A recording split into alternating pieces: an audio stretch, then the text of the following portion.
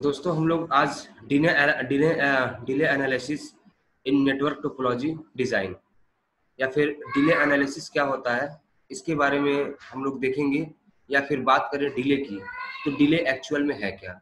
तो अगर दोस्तों, अगर हम डिले की बात कर रहे हैं तो मतलब कि जो टोटल टाइम सेंडर से रिसीवर तक डाटा को पहुँचने में लग रहा है, उसी को हम डिले कहते हैं। जैसा कि देखिए, यहाँ पे थ्योरी में लिखा भी हुआ है in network topology delay refers to total time consume during message transferring from sender to receiver यानी कि सेंडर से रिसीवर तक मैसेज को ट्रांसफ़र होने में जो टाइम लग रहा है, उसी टाइम को हम क्या कहते हैं? डिले एनालिसिस या उसी को हम डिले कहते हैं, और वो कितना टाइम लग रहा है, ठीक है ना? उसको एनालिसिस करने में जो उसको उसको किस तरीके से हम फाइंड कर रहे हैं बच्चों, वही आपका हो जाता है क्या कहते हैं डिले एनालिसिस यानी बात समझने की कोशिश कीजिएगा कि within two machine total time taken to transfer data sender to receiver that is called delay और अगर इस डिले को अगर हमें फाइंड करना है, ठीक है ना तो उसके लिए जो सारे प्रोसीजर हम अप्लाई कर रहे हैं, उसी को हम कहते हैं डिले एनालिसिस ठीक है? तो दोस्तों, यहाँ पे मैं आपको बताना चाहूँगा कि चार टाइप के डिले हैं आपको। मैं आपको बताना चाहूँगा कि यहाँ पे डिले कितने टाइप के हैं? चार टाइप के। आपका एक प्रोपागेशन डिले है, जो यहाँ पे इस कॉन्सेप्ट में है। एक आपका ट्रांसमिशन डिले है, एक आपका नो डिले या प्रोसेसिंग डिले है, और एक आपका क्यूइंग डिले। ठीक है ना? तो चार टाइप के डिले हैं आपकी, कि propagation delay transmission delay queuing delay और प्रोसेसिंग डिले। तो बात करें अगर क्यूइंग डिले और क्या कहते हैं प्रोपागेशन डिले की। और सॉरी अगर हम क्यूइंग डिले की और प्रोसेसिंग डिले की बात करें तो इनको फाइंड करने का कोई एग्जैक्ट क्या कहते हैं फॉर्मूला नहीं है, ठीक है? लेकिन कहीं ना कहीं मतलब कि, ये क्या कहते हैं, इनका भी चूँकि ये भी डिले है और ये मतलब कि ये भी कहीं ना कहीं मतलब पैकेट के टाइम को मतलब पैकेट को सेंडर से रिसीवर तक जाने में कहीं ना कहीं ये भी इफ़ेक्ट करते हैं। तो चूँकि ये भी इफ़ेक्ट करते हैं पैकेट को आ, मतलब उनके टाइम को थोड़ा सा कंज्यूम करते हैं तो इसलिए इनको भी यहाँ पे रखा गया है। लेकिन इनको कैलकुलेट करने का कोई खास मतलब कि कुछ खास नहीं है क्योंकि ये एग्जैक्ट कभी भी प्रोसेसिंग डिले और क्यूइंग डिले जो है वो एग्जैक्ट कैलकुलेट नहीं हो पाता। तो चलिए पहले हम समझते हैं कि आ, ये propagation delay transmission delay process processing delay और क्यूइंग डिले है क्या? ठीक है दोस्तों? तो अगर हमें इसको समझना है तो हम सबसे पहले आपको मैं ये स्क्रीन शेयर कर रहा हूँ। ये स्क्रीन आपको दिख रही होगी। तो देखिए दोस्तों, ये आपको दो नोट दिख रहे हैं और इसको ध्यान से समझिएगा क्योंकि आगे के जितने भी क्वेश्चन है, उसमें हमें कहीं ना कहीं ये propagation delay queuing delay processing delay और आपका ये ट्रांसमिशन डिले इनको हमें डिस्कस करना पड़ता है, हमें देखना पड़ता है दोस्तों। तो सबसे पहले आपको यहाँ पे अगर आप ये फिगर देख पा रहे होंगे तो इस फिगर को देखने के बाद आपको समझ में आ रहा होगा कि ये दो मशीन्स हैं, ये पैकेट है, जो एक सेंडर साइड से रिसीवर साइड की तरफ़ ट्रांसफ़र किया जा रहा है। अब अगर हम बात करें कि अगर ये सेंडर साइड से रिसीवर साइड की तरफ़ ट्रांसफ़र किया जा रहा है तो देखिए कि इसमें ये जो हम चार डिले की बात कर रहे हैं तो चार टाइप का जो डिले है, वो कहाँ कहाँ पे इंट्रोड्यूस हो रहा है। यानी कि हम कहाँ पे कहेंगे ट्रांसमिशन डिले, कहाँ पे कहेंगे हम प्रोपागेशन डिले, कहाँ पे हम कहेंगे क्वीन डिले, और कहाँ पे हम कहेंगे प्रोसेसिंग डिले। तो जैसे कि ये देखिए आप सबसे पहले कि क्या कहते हैं, जो सेंडर साइड से आपको मशीन पे दिख रहा होगा कि सेंडर साइड से, जैसे कि ये सेंडर है और सेंडर साइड से जो पैकेट जो है, जब निकल रहा है, आपको दिखाई दे रहा होगा यहाँ पे कि सपोज़ कीजिए ये सेंडर साइड है, ये रिसीवर साइड है और आप देख रहे हैं कि सेंडर साइड से जैसे ही हम पैकेट को सेंड कर रहे हैं तो जो टाइम सेंडर की मशीन से निकल के और उस लिंक पे, जिस लिंक के थ्रू वो आगे रिसीवर तक जा रहा है। बात समझिएगा सेंडर की मशीन से निकल के और पर्टिकुलर उस लिंक के पॉइंट पे पहुँच रहा है, जिस लिंक के थ्रू वो रिसीवर तक जा रहा है। तो ये जो टाइम है, इसको, इस टाइम को हम कहते हैं ट्रांसमिशन डिले और उसको टी स्मॉल टी इस तरीके से डिनोट किया जाता है ट्रांसमिशन डिले को। ठीक है? बात समझिएगा? सेंडर की मशीन सेंडर की मशीन से जब हमने कोई सेंड कुछ डाटा सेंड किया तो मशीन से निकल के पर्टिकुलर उस लिंक पे, जिस लिंक के थ्रू वो रिसीवर तक जाएगा तो ये जो टाइम कंज्यूम हो रहा है, इस टाइम को हम कहते हैं ट्रांसमिशन डिले ओके दोस्तों? उसके बाद से फिर जब ये लिंक के एक एंड पे पहुँच गया, और उसके बाद वो यहाँ से लेके सपोज़ कीजिए ये जो दूरी है, ठीक है ना? दूसरे रिसीवर तक। तो ये जो बीच में जो ट्रेवल कर रहा है, यहाँ से लेके एक इंड से लेके लिंक के दूसरे इंड तक तो लिंक के जो दूसरे इंड पे इंड तक जो वो मतलब कि ट्रेवल कर रहा है तो इसको ट्रेवल करने में इस बीच की दूरी को जितना टाइम लगता है, उस टाइम को हम क्या कहते हैं? प्रोपागेशन डिले जिसको हम टी स्मॉल पी से डिनोट करते हैं। ठीक है ना? फिर, समझ रहे कि नहीं समझ रहा है? लिंक जो ये लिंक दी हुई है, इस लिंक के एक साइड से लेके, एक इंड से लेके लास्ट इंड यानी दूसरे इंड के तक पहुँचने में जो टाइम लग रहा है, बात समझिएगा। जो टाइम लग रहा है, उस टाइम को ही हम क्या कहते हैं? प्रोपागेशन डिले और इसको हम टीपी से डिनोट करते हैं। किससे डिनोट करते हैं? टीपी से। ठीक है? अब चूँकि ये मशीन है, यहाँ पे डाटा आ रहा है, ठीक है ना? तो ज़रूरी थोड़ी है कि भाई एक ही मशीन से आ रहा है, और मशीन से भी आ रहा है। तो अगर एक से ज़्यादा पैकेट्स आ रहे हैं तो एक टाइम में सारे पैकेट को तो रिसीव कर नहीं पाएगा। तो वो सारे पैकेट जो है, क्या है मशीन के बफर में एक क्यू बना के लगा क्यू क्यू मतलब एक लाइन में खड़े हो जाएँगे कि एक एक डाटा धीरे से उठ के मशीन के अंदर जाएगा। बात समझिएगा, यहाँ पे अगर पैकेट के नंबर ऑफ़ पैकेट ज़्यादा हो गए हैं तो यहाँ पे क्या सबका सब जो क्या है, एक लाइन लगा के खड़े हो जाएँगे। ठीक है ना? अब एक लाइन लगा के जब वो खड़े हो जाएँगे तो पहले पहला जाएगा फिर दूसरा जाएगा फिर तीसरा जाएगा और फिर चौथा जाएगा। इस तरीके से एक एक पैकेट जो है वो मशीन के अंदर जाएँगे। तो समझने वाली बात क्या है कि ये जितना टाइम जो है लग, लग मतलब एक मशीन को वेट करने में एक सॉरी एक पैकेट को जितना टाइम वेट करने में लगेगा कि अब वो इस क्यू से निकल के पर्टिकुलर मशीन के अंदर जाए। ठीक है ना? तो जो क्यू में जितना टाइम लग रहा है, यानी वेट करने में जितना टाइम लग रहा है दोस्तों, बात समझिएगा। वेट करने में उसे जितना टाइम लग रहा है, उस वेटिंग टाइम को हम क्या कहते हैं? क्यूइंग डिले समझ में आ रहा है कि नहीं आ रहा है? केवल उसके लिए कि वो अपनी बारी का इंतज़ार कर रहा है कि कब उसका नंबर आएगा कि उसको मशीन के अंदर डाला जाए। तो सपोज़ कीजिए ये तीसरा अगर पैकेट है तो तीसरे का नंबर तभी आएगा जब पहला पैकेट चला जाए, उसके बाद दूसरा पैकेट चला जाए और उसके बाद फिर तीसरा पैकेट का नंबर आएगा। तो तीसरे पैकेट को अपनी बारी आने का इंतज़ार करना पड़ेगा। तो उस इंतज़ार करने में उसको जितना टाइम लग रहा है, उसी टाइम को हम क्या कहते हैं? क्यूइंग डिले दोस्तों। क्या कहते हैं? क्यूइंग डिले और जिसको हम डिनोट करते हैं टीक्यू से। किससे डिनोट करते हैं? टीक्यू से। टीक्यू यानी कि क्यूइंग डिले और क्यूइंग डिले यानी वो टाइम कि पैकेट अपनी बारी का इंतज़ार कितनी देर कर रहा है। ठीक है ना? इसी को हम कहेंगे क्यूइंग डिले अब लास्ट में आती है प्रोसेसिंग डिले अब प्रोसेसिंग डिले का मतलब क्या है? कि अब एक पैकेट को जैसे जिसका नंबर आ गया, अब उस पैकेट को वो उठा के वापस मशीन के अंदर डाल रहा है। तो ये प्रोसेसिंग है। ठीक है ना कि क्यू में जिस, जैसे मान लीजिए तीन पैकेट पड़े हुए हैं और इस पहले पैकेट का नंबर है कि अब इस मशीन के अंदर उसको जाना है। तो अब इस मशीन को इस क्यू से निकाल के सॉरी, इस पैकेट को इस क्यू से निकाल के पर्टिकुलर उस मशीन तक पहुँचाने में जो टाइम लग रहा है, उसी को हम क्या कहते हैं? प्रोसेसिंग डिले, ठीक है? और इस प्रोसेसिंग डिले को हम टी स्मॉल एन से डिनोट करते हैं दोस्तों। अब होप सो आपको ये चीज़ें समझ, ये बात समझ में आई होगी क्योंकि ये चीज़ आपके दिमाग में हमेशा होनी चाहिए, तभी आप न्यूमेरिकल को सही से सॉल्व कर पाएँगे। ठीक है दोस्तों? तो क्या सेंडर की मशीन से पैकेट को निकल के पर्टिकुलर उस लिंक तक आने में, जिस लिंक के थ्रू वो जाएगा दूसरे एंड पे तो वो जो टाइम स्पेंड हो रहा है, उस टाइम को हम कहेंगे ट्रांसमिशन डिले जिसको टी स्मॉल टी से हम डिनोट कर रहे हैं। पैकेट लिंक के एक इंड से दूसरे इंड तक जाने में जितना टाइम लग रहा है बच्चों, उस टाइम को हम क्या कहेंगे? प्रोपागेशन डिले क्या कहेंगे दोस्तों हम? उस टाइम को हम क्या कहेंगे? प्रोपागेशन डिले यानी एक इंड से दूसरे इंड पे पर्टिकुलर पैकेट को जाने में जितना टाइम लग रहा है, उसी को हम क्या कह रहे हैं? प्रोपागेशन डिले अब जब पर्टिकुलर एंड पे पहुँच गया और वहाँ पे और सारे पैकेट भी पहुँचे हुए हैं तो वहाँ पे एक क्यू क्यू है और उस क्यू में वो अपनी टाइम का वेट कर रहा है।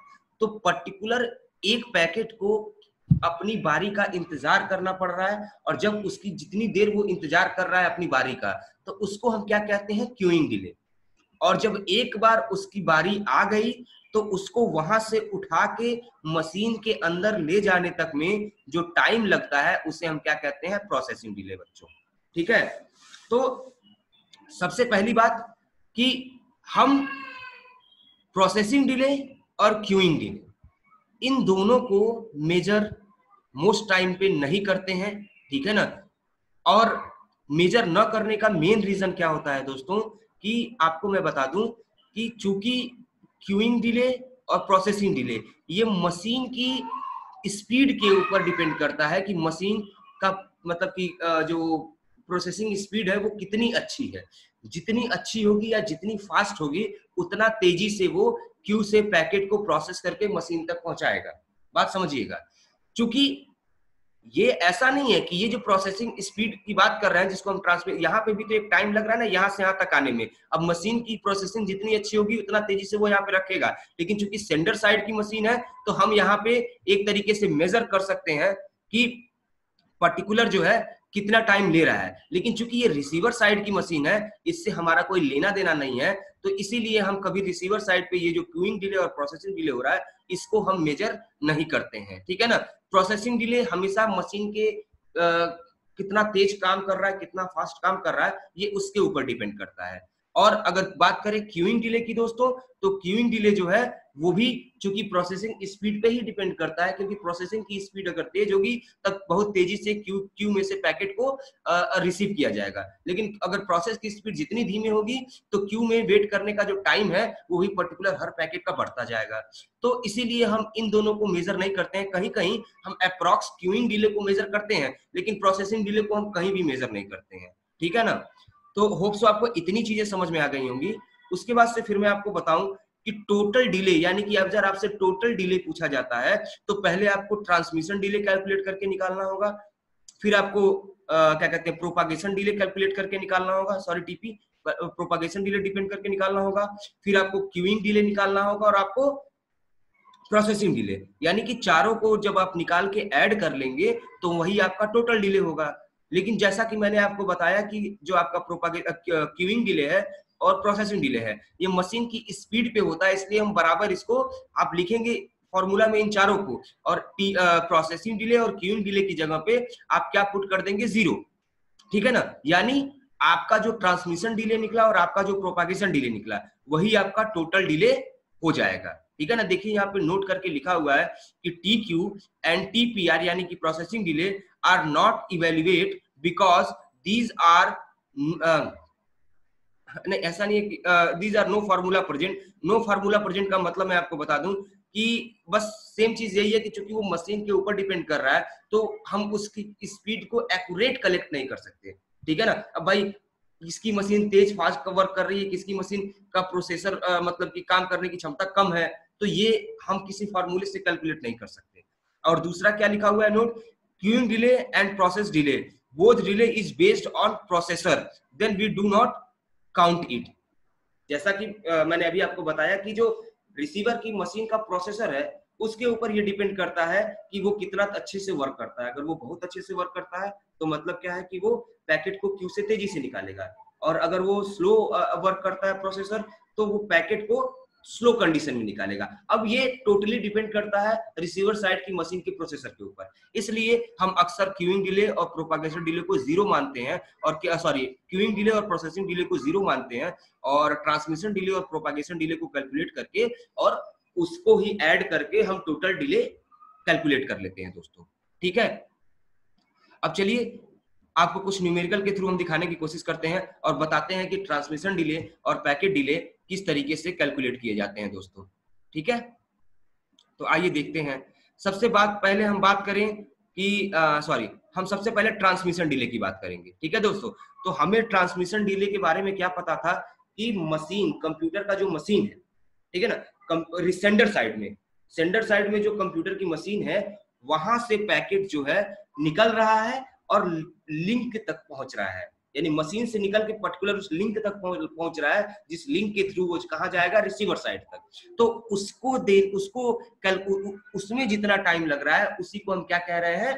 आपका ट्रांसमिशन डिले तो जैसा कि देखिए, इसमें क्या लिखा हुआ है? Transmission delay can be reduce by increasing the data rate of the line it can also be reduce by limiting the size of frames ठीक है ना? तो अगर हम देखें तो time taken by frame to come out for transmitter transmitter मतलब कि मशीन से निकल के लिंक तक आने में जहाँ से वो ट्रांसमिट हो सकता है, ठीक है ना, यही आपका ट्रांसमिशन डिले है। तो और ये डिपेंड किस पे कर रहा है कि लिंक पे लेंथ पे पैकेट के लेंथ पे कि पैकेट कितना बड़ा है और उसकी बैंडविथ मशीन की कितनी अच्छी है, ठीक है ना? लिंक की जो लाइन है, उसकी बैंडविथ कितनी अच्छी है। तो इसीलिए जो ट्रांसमिशन डिले है, उसका जो फॉर्मूला बनाया गया है T T is equal to L upon B L जैसा कि यहाँ लिखा हुआ है वेयर टी टी है ट्रांसमिशन डिले एल क्या है? फ्रेम साइज़ यानी कि वो जो फ्रेम जो जा रहा है, और बी क्या है? डाटा रेट और बैंडविथ ठीक है ना? तो जब भी आप ट्रांसमिशन डिले निकालेंगे, और न्यूमेरिकल में अगर आप देखेंगे तो आपको क्या दिखेगा? आपको कहीं ना कहीं पैकेट की लेंथ दिखेगी। ठीक है ना? उसके बाद से आपको कहीं ना कहीं बैंडविथ भी मिलेगा या डाटा रेट मिलेगा आपको और आपको बस एल अपॉन बी यानी कि पैकेट का लेंथ अपॉन बैंडविथ कर देंगे तो जो भी वैल्यू मिलेगी, वो आपका ट्रांसमिशन डिले होगा। याद करने वाली दोस्तों बात यह है कि चूँकि ये ट्रांसमिशन डिले है, यानी कि टाइम है तो जो इसकी वैल्यू आएगी कैलकुलेट करने के बाद, वो भी सेकेंड में ही होगी दोस्तों। ठीक है ना? यानी कि टाइम का जो यूनिट होता है minute second microsecond minute समझ रहे नहीं? तो ये उसी के अंदर उसकी वैल्यू होगी।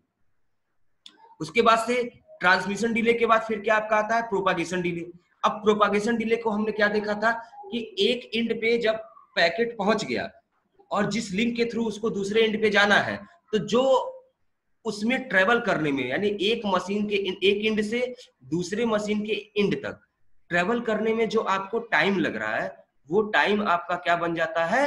प्रोपागेशन डिले तो ये जो प्रोपागेशन डिले है, जैसा कि लिखा propagation delay can not be reduce as it depend upon distance between transmitter receiver and velocity of signal तो कहने का मतलब क्या है कि भाई प्रोपागेशन डिले दो चीज़ों पे, कि कितनी लंबी दूरी है, जिसमें उस फ्रेम या पैकेट को ट्रेवल करना है और उस लिंक की वेलोसिटी क्या है, कि वो कितनी तेज़ी से जा रहा है। मतलब क्या, अगर फ्रेम का साइज़ बड़ा होगा सॉरी अगर डिस्टेंस जो है वो ज़्यादा होगा तो टाइम ज़्यादा लगेगा, ठीक है ना? और अगर लिंक की स्पीड वेलोसिटी तेज होगी तो उसको टाइम कम लगेगा।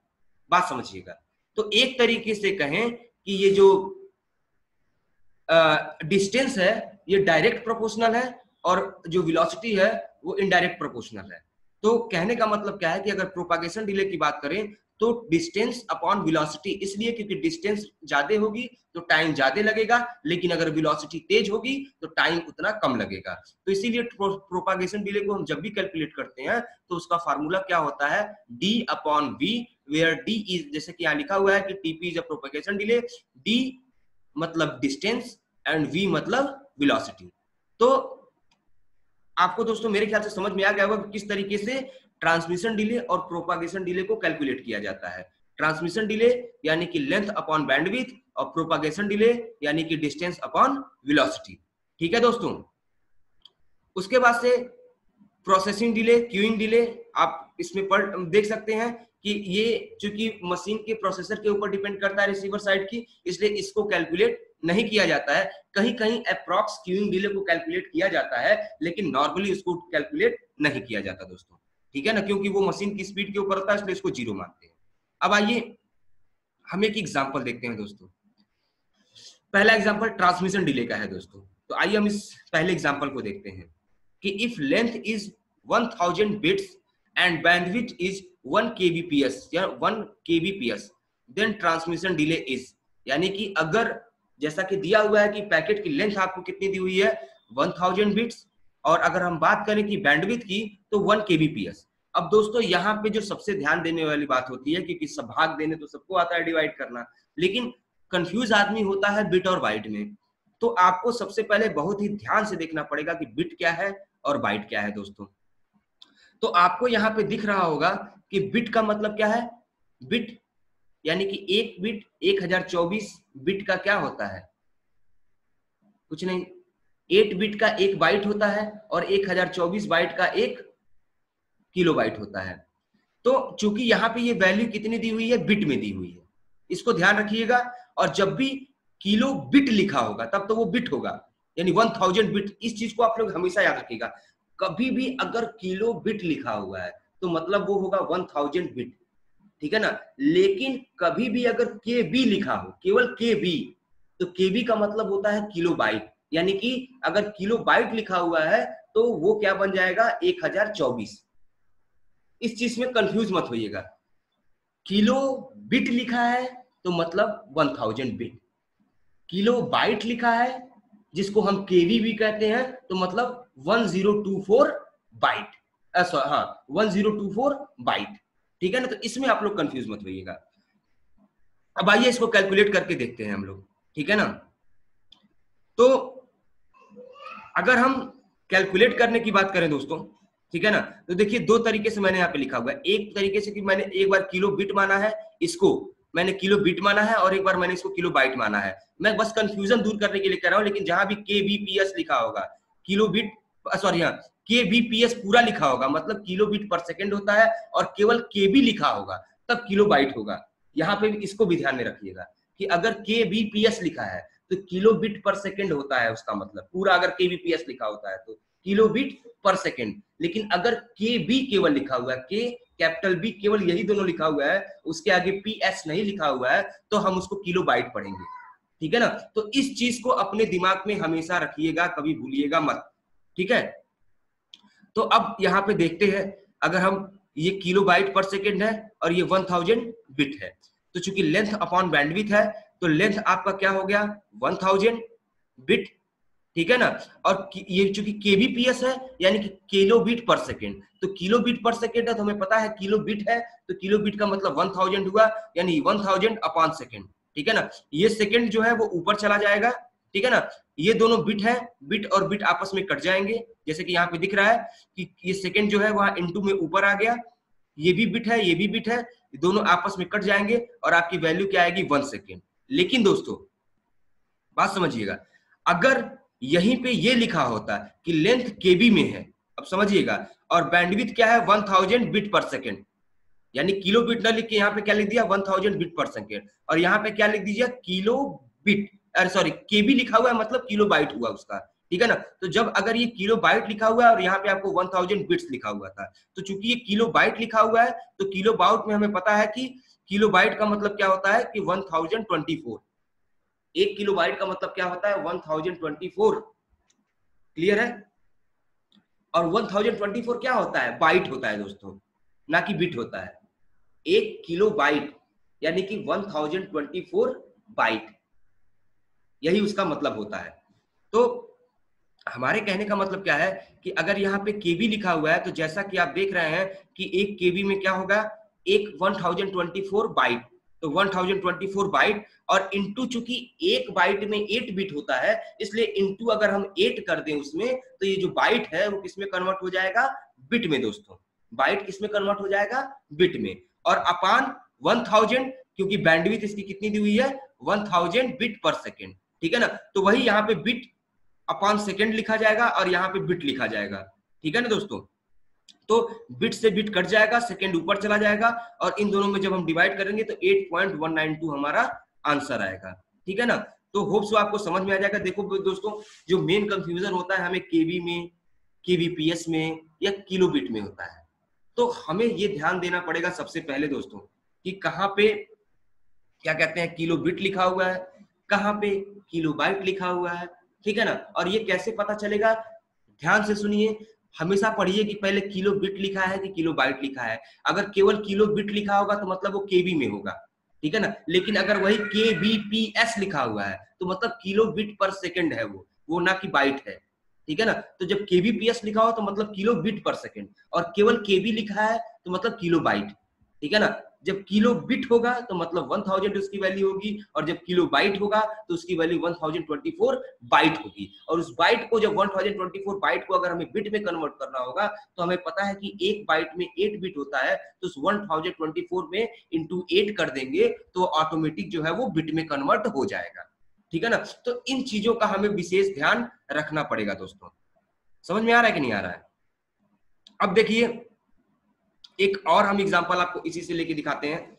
ये देखिए लेंथ आपका एक किलो बिट है ठीक है ना? यहाँ पे क्या है? वन थाउज़ेंड बीपीएस जो लिखा हुआ बिट पर सेकेंड तो वही चीज़ यहाँ पे हाँ एक चीज़ देखिए आपको समझा एक चीज़ और समझाने दी आ, ये सेकंड में दिया हुआ है और एक चीज़ मैं आपको और बता दूँ यहाँ पे कि टाइम को अक्सर हम पॉइंट में न लिख के पॉइंट से उसको पॉइंट में देखिए टाइम को हम कोशिश ये करते हैं कि ना वो पॉइंट में हो ना वो निगेटिव में जाए ठीक है ना? तो पॉइंट से हटाने के लिए हम इस जो सेकंड है इसको हम किसमें बदल सकते हैं? आप बताइए। मिली सेकेंड में माइक्रो सेकेंड में ठीक है ना? अक्सर ये ध्यान रखिएगा इसको हम कन्वर्ट कर देंगे ठीक है? तो इ, इ, इसको मैं चलिए मैं अभी आगे बताता हूँ कि लेकिन एक चीज़ हमेशा याद रखिएगा कि टाइम को कभी भी पॉइंट में मत रखिएगा कोशिश यही करिएगा, अगर आप इतना पॉइंट सेकंड लिख देते हैं तो हाँ कोई गलत नहीं कहेगा, लेकिन एक मानना है कि पॉइंट को मिली या माइक्रो में कन्वर्ट कर दे ताकि वो प्लस में मतलब कि प्लस में आ जाए या पॉइंट से हट जाए या फिर निगेटिव ना रहे। तो उसके लिए हम क्या करेंगे भाई? भाई, अगर यहाँ पे देखो, अपान वन थाउज़ेंड अगर मतलब कि जैसे कि इसको क्या करेंगे? सेकंड में कन्वर्ट मतलब सेकंड में है तो इसको मिली या माइक्रो में कन्वर्ट करके इसको हम प्लस में कन्वर्ट मतलब कि पॉइंट से हटाने की कोशिश करेंगे। अगर पॉइंट से हटाएँगे तभी जाके ये हमारी वैल्यू सही मानी जाएगी। ठीक है? अब मैं कुछ चीज़ें और आपको यहाँ पे ध्यान देना दिलाना चाहता हूँ। थोड़ा सा ध्यान से देख लीजिएगा कि जैसा कि यहाँ लिखा है कि भाई जो मैंने केबी और बैंडविथ वाली, जो बिट वाली, बिट पर सेकंड की बात की, मैं उसकी बात कर रहा हूँ कि एक किलो बाइट का मतलब क्या होता है? वन थाउज़ेंड ट्वेंटी फोर, ठीक है ना? लेकिन एक किलो बिट पर सेकेंड का मतलब क्या होता है कि one thousand bit per second? समझिएगा बात को। मेगा बिट का मतलब क्या होता है? मेगा, एमबी लिखा है मतलब मेगा बाइट तो मतलब 120 1024 इंटू वन ठीक है ना? यानी इसी का जस्ट मैंने समझ रहे हैं? एक थाउज़ेंड ट्वेंटी फोर बाइट जो होता है वो क्या बन जाता है? आपका बिट बन जाता है। तो उसी तरीके से अगर इसको दो बार हम मल्टीप्लाई कर दे तो वो क्या बन जाता है? मेगाबाइट समझ में आ रहा है कि नहीं आ रहा है? तो अगर हम यहाँ बैंडविथ को देखें तो यहाँ पे आपको क्या दिख रहा है? अगर किलो में है तो टेन की पावर थ्री होगा। एमबी में है तो टेन की पावर सिक्स होगा। और अगर जीबी में है तो टेन की पावर नाइन होगा दोस्तों। ठीक है ना? ये चीज़ है, थोड़ा इसको अपने दिमाग में रखिएगा, वरना आप कंफ्यूज बराबर होते रहेंगे। अब दूसरी चीज़ आती है दोस्तों प्रोपागेशन डिले तो प्रोपागेशन डिले की अगर हम बात करें तो मैंने बताया था कि प्रोपागेशन डिले जो होता है, वो डायरेक्ट प्रोपोर्शनल टू डिस्टेंस होता है और इनडायरेक्ट या इनवर्स प्रोपोर्शनल टू वेलोसिटी होता है। इसीलिए हम TP equal to D upon V करते हैं। वेलोसिटी ऑफ़ लाइट हमेशा याद रखिएगा थ्री इंटू टेन की power eight metre per second होती है। ठीक है ना? और फाइबर ऑप्टिक केबल की जो वेलोसिटी होती है, वो अक्सर जो है लाइट की स्पीड के 70 परसेंट होती है। यानी लाइट के स्पीड के 70 परसेंट का मतलब क्या होता है कि पॉइंट ज़ीरो सेवन का अगर मल्टीप्लाई मल्टीप्लाई कर दे वेलोसिटी ऑफ़ लाइट में तो हमें फाइबर केबल की ऑप्टिकल फाइबर केबल की वेलोसिटी का पता चल जाएगा, जो कि 2.1 पॉइंट इंटू की पावर एट मिली सेकेंड है मीटर सेकेंड जो भी है। तो अब देखिए, अब यहाँ पे क्या है कि अब आपको यहाँ पे प्रोपागेशन डिले निकालना है। तो देखिए डिस्टेंस आपका दिया हुआ है टू इंटू अगर मान लीजिए कि क्वेश्चन में आपको कहता है कि फाइबर ऑप्टिक केबल है, ठीक है ना? डिस्टेंस आपकी दी हुई है, देखिए two into one kilometre kilometre में इसकी डिस्टेंस दी हुई है। वेलोसिटी की बात करें तो वेलोसिटी देखिए यहाँ पे दी हुई है two into two into one two point one into ten की power eight metre per second ठीक है ना? भाई मीटर पर सेकेंड होगा, क्योंकि कितनी दूरी कितने सेकेंड में तय कर रहा है। तो अब डिस्टेंस को हम क्या करेंगे दोस्तों? सबसे पहले मीटर में कन्वर्ट करेंगे, क्योंकि यहाँ पे वेलोसिटी मीटर में है। तो जब किलोमीटर को हम मीटर में कन्वर्ट करेंगे तो हमें क्या दिख रहा है? कि टू उसमें टेन की पावर थ्री से अगर हम मल्टीप्लाई कर दे तो हमारा जो किलोमीटर है, वो मीटर में कन्वर्ट हो जा रहा है। हमें प्रोपागेशन डिले की का पता है कि प्रोपागेशन डिले का हमें फार्मूला पता है कि डी अपॉन बी होता है। तो जब अगर डी अपॉन वी होता है तो हमें यहाँ पे क्या दिख रहा है कि 2.1 पॉइंट वन इंटू टेन की पावर थ्री जो कि डिस्टेंस हो गया, और 2.1 पॉइंट वन इंटू टेन की power eight metre upon second. तो ये जो सेकेंड है, वो ऊपर चला जाएगा। सिंपल, अब 2.1 पॉइंट वन इंटू टेन की पावर एट नीचे और 2.1 पॉइंट वन इंटू की पावर थ्री ऊपर। ये इससे कट जाएगा टेन की पावर एट जो है, वो ऊपर जाके माइनस टेन की पावर फाइव हो जाएगा टेन की पावर एट हो जाएगा। प्लस और माइनस का जब कंफ्यूजन होगा तो क्या आ जाएगा टीपी टेन की पावर माइनस फाइव सेकेंड ठीक है ना? अब जब ये टेन की पावर माइनस फाइव सेकेंड होगा दोस्तों तो जैसा कि यहाँ पे लिखा हुआ answer not considered in minus मैंने बताया था टाइम आपको माइनस में नहीं होना चाहिए वो हमेशा पॉजिटिव में होना चाहिए। ठीक है ना? तो हम क्या करेंगे? पहले मिली और माइक्रो में कन्वर्ट करेंगे। तो अगर हम टेन की पावर फाइव को मिली सेकेंड में कन्वर्ट करते हैं तो मतलब टेन की पावर थ्री से मल्टीप्लाई कर, करते हैं मिली सेकेंड में कन्वर्ट करने के लिए। लेकिन अगर हम मिली सेकेंड में कन्वर्ट करने की कोशिश कर रहे हैं तब भी हम देख रहे हैं कि हमारा आंसर माइनस में ही रह जा रहा है। प्लस में वो नहीं हो रहा है। तो हम मिली को छोड़ देंगे, फिर हम डायरेक्ट टेन की पावर फाइव को माइक्रो सेकेंड में कन्वर्ट करेंगे। और जब हम माइक्रो सेकेंड में कन्वर्ट करेंगे तो मतलब क्या? टेन की पावर सिक्स से हम उसका मल्टीप्लाई करेंगे, तब हमारा क्या आंसर आएगा? Ten microsecond. जो कि करेक्ट आंसर माना जाएगा, क्योंकि टाइम को माइनस में तो कंसिडर पॉइंट में एक बार कंसिडर कर भी सकते हैं, लेकिन माइनस में कंसिडर आप एकदम नहीं करेंगे। इसलिए हम इसको माइक्रो में कन्वर्ट करके हमने इसको क्या बना दिया? टेन की पावर टेन माइक्रो मतलब कि टेन की पावर सिक्स से मल्टीप्लाई किया तो टेन माइक्रो सेकेंड हो गया। ठीक है? एक चीज़ हमेशा याद रखिएगा कि ऐसा नहीं कि पहले आप मिली सेकेंड में कन्वर्ट करिए, फिर माइक्रो सेकेंड में। वो गलत हो जाएगा। एक बार पहले मिली सेकेंड में कन्वर्ट करके देखिए, अगर आंसर निगेटिव में नहीं आता पॉजिटिव में नहीं आता है तो फिर आप तुरंत कहा चले जाइए? उसी वैल्यू को माइक्रो में कन्वर्ट करके देखिए। अगर माइक्रो में कन्वर्ट करने से अगर वो पॉजिटिव हो जाता है तो फिर मतलब कि आपका आंसर सही है, यानी कि टेन माइक्रो सेकेंड वो आंसर होगा। तो और बाकी मैंने आपको बताया कि क्वीन डिले और प्रोपागेशन डिले जो है, आपका ज़ीरो होता है। तो उसके बाद से आप जब आपको प्रोसेसिंग डिले और ट्रांसमिशन डिले और आपका प्रोपागेशन डिले मिल जाएगा तो आप इस तरीके से सबको ऐड कर देंगे तो आपका टोटल डिले जो है कैलकुलेट होके आ जाएगा। अगर आपसे टोटल डिले पूछा गया है तो आपको प्रोपागेशन और ट्रांसमिशन दोनों निकालना पड़ेगा और दोनों को ऐड करना पड़ेगा। तब आपका वो प्रोपागेशन डिले होगा। अरे टोटल डिले होगा। और केवल प्रोपागेशन या ट्रांसमिशन डिले पूछ रहा है तो आपको उस फॉर्मूले के थ्रू उसको निकालना होगा। तो होप सो दोस्तों, आपको आज का लेक्चर समझ में आया होगा।